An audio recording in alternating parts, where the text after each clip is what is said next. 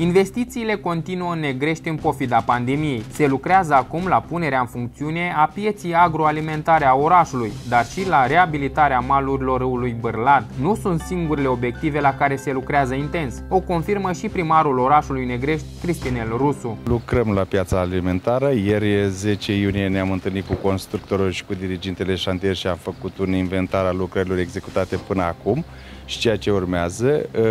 E și o mică modificare în proiect pe care trebuie să o facem în, per- în perioada imediat următoare. Sosește într-o săptămână tâmplăria care se va monta și după vom, fa- vom trece la interioare și este mezeu că lucrările vor fi mult mai pe repede înainte decât s-a întâmplat până acum. Avem în execuție, după cum știți, reabilitare mal stângă Bârlad, unde de asemenea se lucrează și estimăm că în două luni vom termina lucrările acolo și vom turna și covor de asfaltic. De asemenea, avem acum urcat pe SICAP lucrarea la grădinița Prichindel din orașul Negrești și sperăm ca într-o lună de zile să semnă contractul cu un constructor care va câștiga licitația, astfel încât în această vacanță școlară să începem lucrările acolo la grădinița Prichindel.